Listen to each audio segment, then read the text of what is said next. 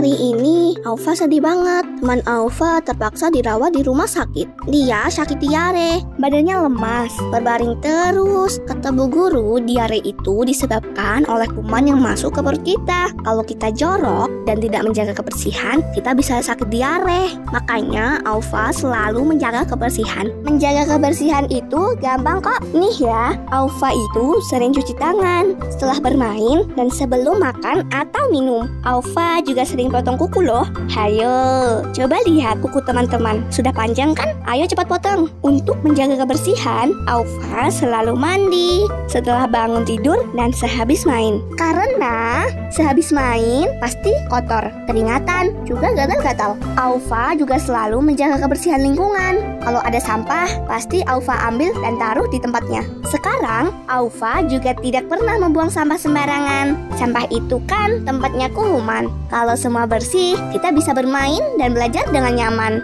Coba lihat Aufa, sehat kan? Karena Aufa selalu menjaga kebersihan. Teman-teman juga ya.